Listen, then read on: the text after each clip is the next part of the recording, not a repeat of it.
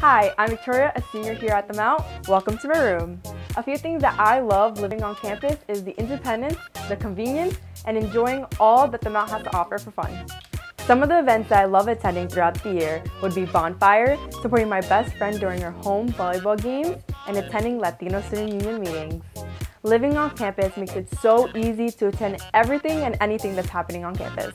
A typical day for me is waking up from an early morning class, which isn't a problem because everything is in a walking distance. Once I'm done with class, I take a quick trip up the DC steps and spend my day studying. One of my favorite places here on campus is the DC Library. Not only is it big, but modern. It has study rooms, plenty of whiteboards, and there's even a DC cafe here.